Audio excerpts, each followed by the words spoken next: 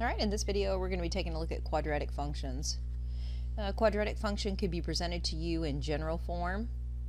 Okay, it would, would be something like this, but one side of the equation would be 0. I guess the f of x would be 0. A quadratic function may be presented to us in a factored form with a binomial, two terms, square, and in this form with these letters. Uh, pay attention to the standard form that a cannot be 0 because if a is 0 then we don't even have a quadratic function. All right, so one of the things we're going to be looking at is um, when we graph these quadratic functions, we're going to be looking at the parabolas and we're going to want to be stating um, some information about those parabolas. For example, we're going to be wanting to know uh, what the vertex is for the parabola. Remember, the vertex is the high or the low, the min or the max, uh, the peak or the valley. Uh, another way to think about it is the turning point. Uh, all parabolas that are kind of U-shaped or upside down U-shaped uh, are going to have a uh, max, a min, uh, and we call those the, the, the vertexes or the vertices. So that's one thing we're going to be looking at is uh, where, how can we identify the vertex of the parabola. Another thing we're going to be looking at is uh, finding the x-intercepts. Uh, sometimes parabolas will intersect the x-axis and we're interested in, in those x-intercepts. Sometimes a parabola is uh, not going to intersect the x-axis and we will come to find that out too in our work in uh, this video. All right, we're also going to describe uh, a parabola, meaning the description is just going to involve us knowing whether the parabola opens up or down. All right, so we're either going to be working with the general form or the standard form.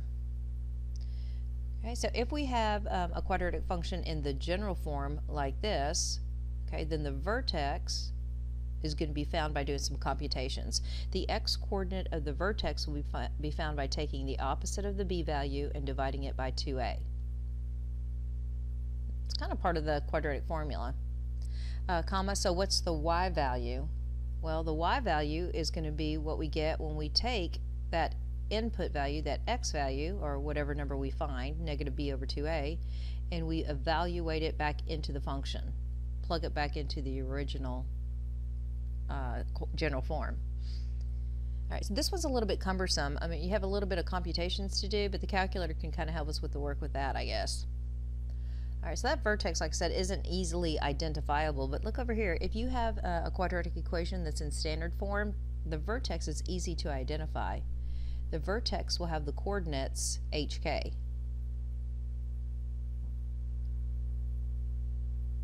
All right, so let's look at our first example.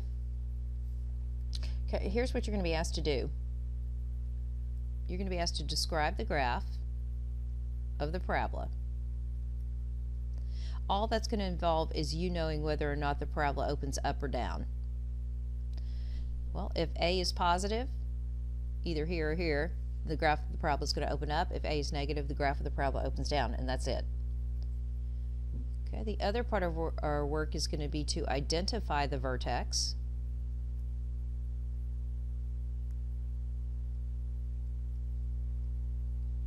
and the x-intercepts.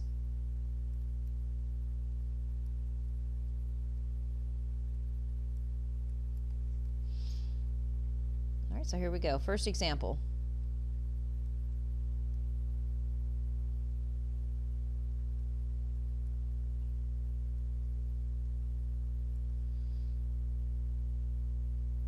So the first thing we can do is we can look at this and identify, you know, or describe the graph. So uh, if that's our problem, I'm looking at it and A is negative 1, then I know that the parabola opens down.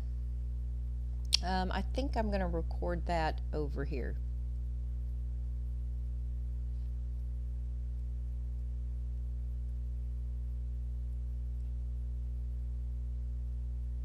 I'm just going to put downward. That's probably the way you'll see it uh, in the textbook.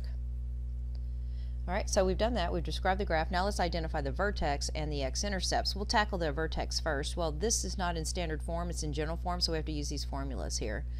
All right, so let's see if we can find um, the vertex.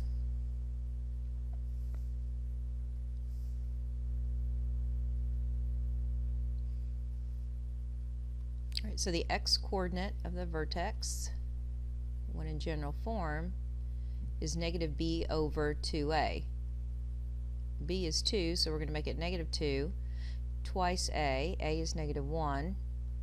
let's simplify. So x is equal to negative 2 over negative 2 or 1.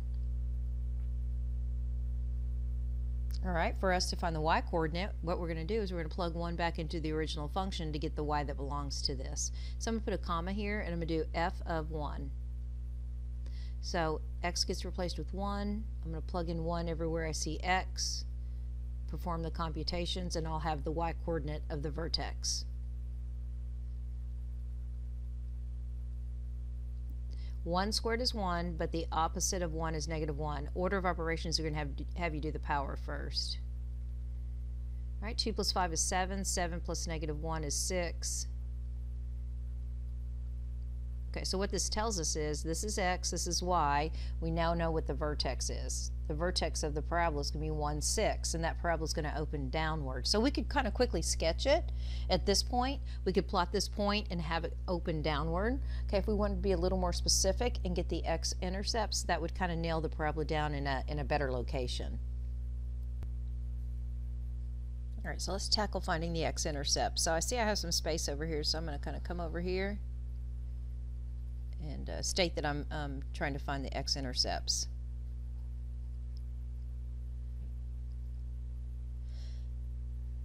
All right, so when uh, we're looking for the x-intercepts, remember we're on the x-axis, so that means the y-coordinates are 0. Well, what is y in the original equation? y is f of x. So for x-intercepts, we're going to set the y, or f of x, equal to 0. So take the equation, set it equal to 0.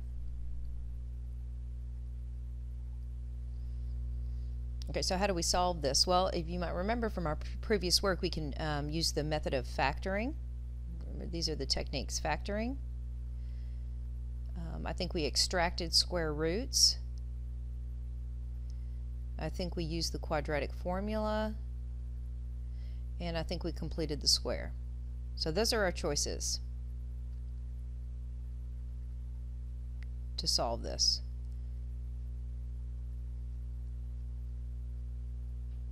Okay, I don't know what method you guys prefer, but you can use any of these if they work. Now, when I look at this, the first thing I'm going to try is factoring. I don't mind factoring, uh, but I can identify that with factors of 5, uh, or yeah, with factors of 5, I'm never going to get 2.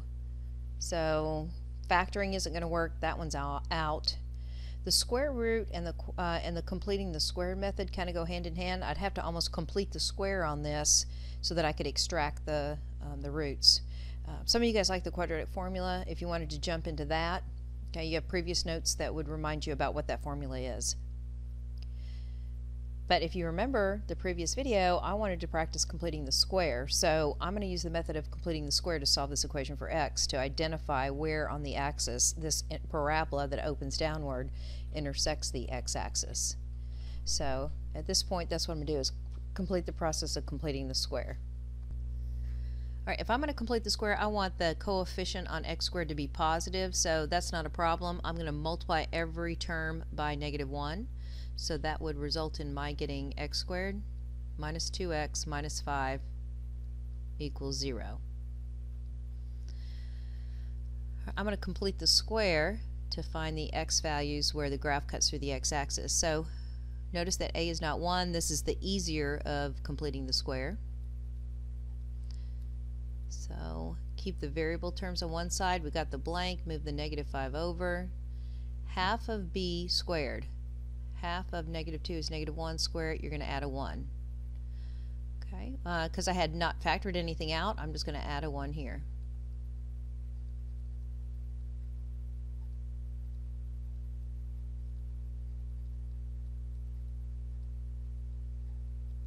Looks like I'm losing some things. Okay, so I'm going to bring in the square root.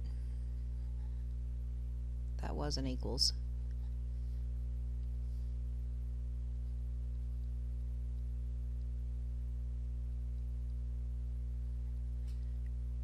Remove the absolute value.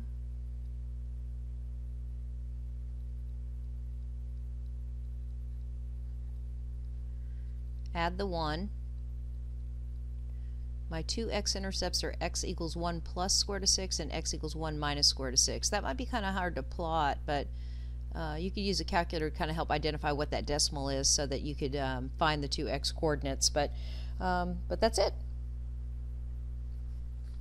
It didn't ask us to sketch a graph or anything. It just asked us to describe the graph that opens downward, find the vertex. It's in general form, so we use the formulas. Uh, to get the x-intercepts, I'm going to use the method of completing the square. So let's look at example 2.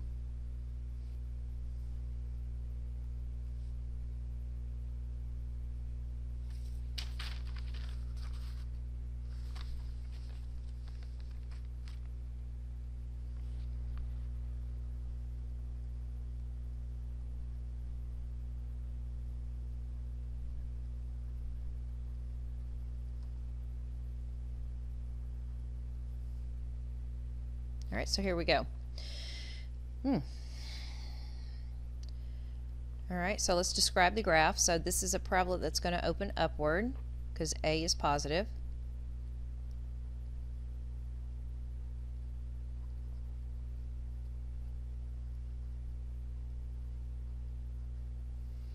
Okay, our next task is we want to find uh, the vertex. Well, I noticed that it's not in uh, standard form. Uh, so in this case, I need to um, just find the vertex by using the formulas. So let me find x first. It's negative b over 2a. Opposite of b would be positive 4 over 2 times a. a here is 4. So x equals 4 over 8 or a half. Ooh. So we're going to plug in 1 half. So what is h of 1 half? Everywhere you see x, replace it with a half. Ooh.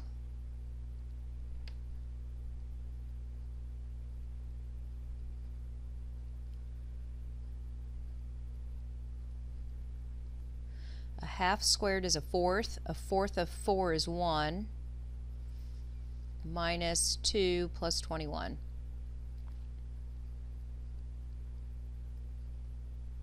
Uh, 21 plus 1 is 22. 22 minus 2 is 20. Okay, so the vertex has coordinates 1 half and 20. So you could plot that on your number line. Uh, and notice the graph opens upward. If you wanted to think about the x-intercepts here, okay, before we go and find the x-intercepts, I want you to think about what, what's happening here. I'm going to draw a little sketch of what's going on over here. Think about where the vertex is. If this is 1, and half is here and I go up to 20. So if I plotted the vertex it'd be about right here. Remember the parabola opens upward. Am I going to have any x-intercepts?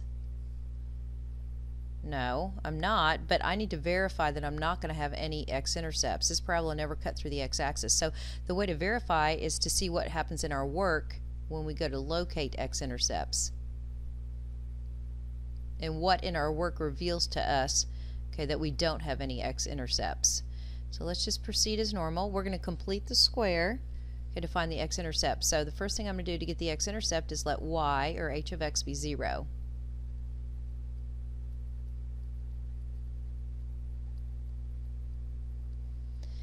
Okay, completing the square to get the x-intercepts, we'll look at 4. We're going to have to factor that out in a minute, but let's move over the 21. Oh gosh, I hope things don't start disappearing. Uh, there we go. All right, let's factor out the 4 first. Just this number. Then I can put a blank. Half of b, well half of negative 1 would be negative 1 half. Square negative 1 half is positive 1 fourth. Okay, but it's not just 1 fourth I'm adding over here that I need to add over here. Okay, it's the product of 4 and 1 fourth, and that product is 1 whole. So I'm really adding an extra 1 whole over here after I multiply, so I need to add a 1 whole over here.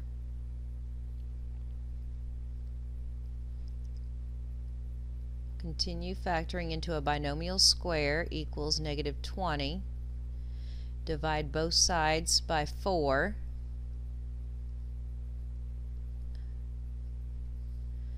Hoping you already see it.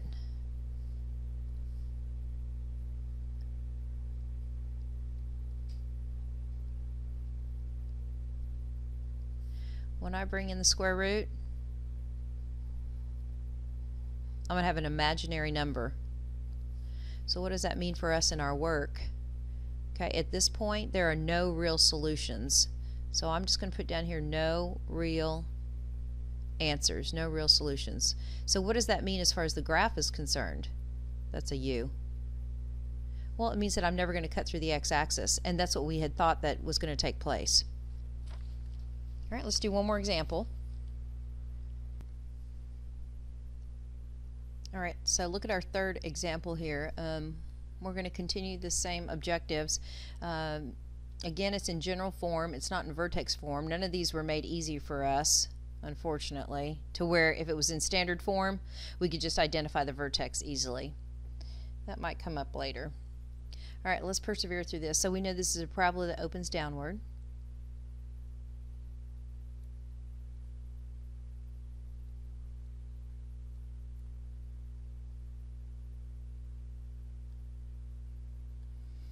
All right, let's find the vertex.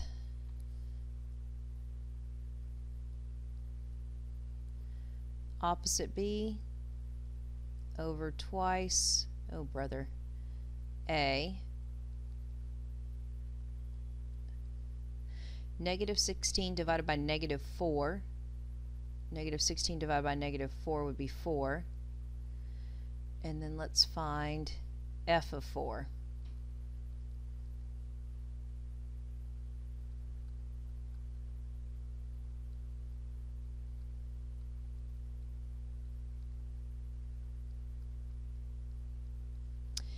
Four squared is 16 times negative 2 is negative 32 this product is 64.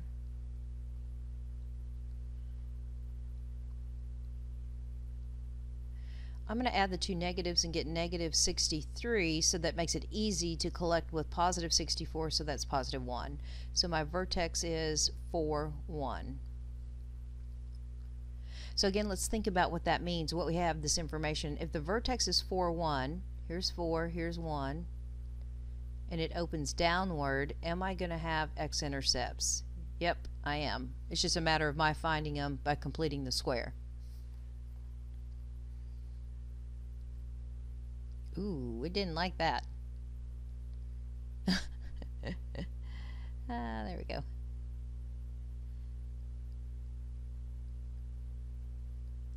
Okay, x-intercepts. That's when y is 0 or f of x is 0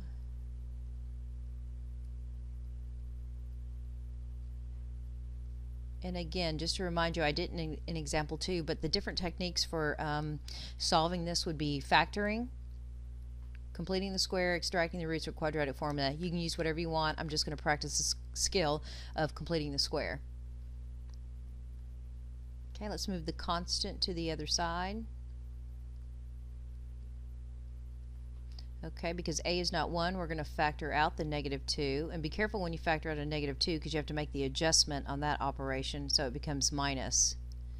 Okay, I can then put my um, little blank here. I think it's equals 31. These are starting to disappear, so it's a good thing we're almost done. All right, so in this blank right here, I'm going to put half of b squared, so that would be um, negative 8 squared is 64 but don't just put 64 over here. First you need to multiply by negative 2.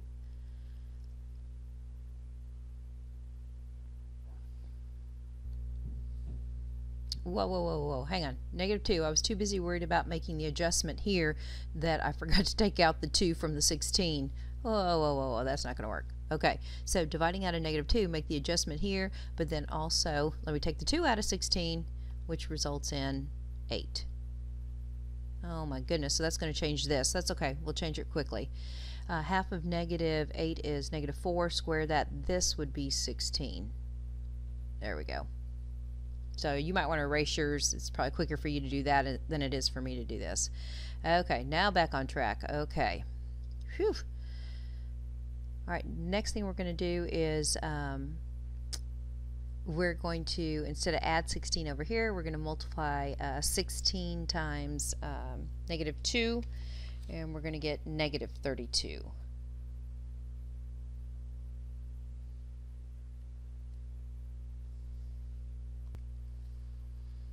Alright, so this becomes the product again of negative 32, so we're going to want to include a minus 32 here.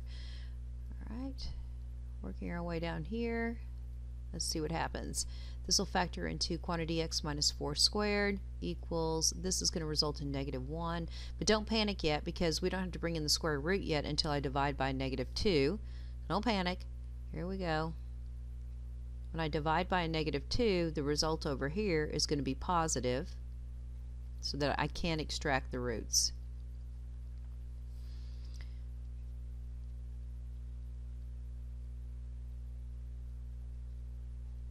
Okay, let's bring in the radical.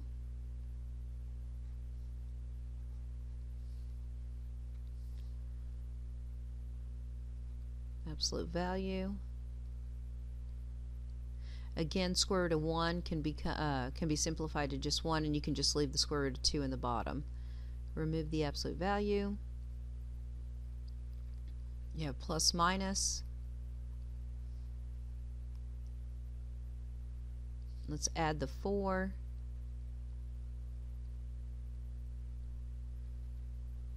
Again, I'm not going to require it. You could rationalize that denominator if you wanted to, but it's not necessary. I think we've done enough work as it is. Okay. Alrighty. So hopefully good three good examples for you guys when you approach your homework.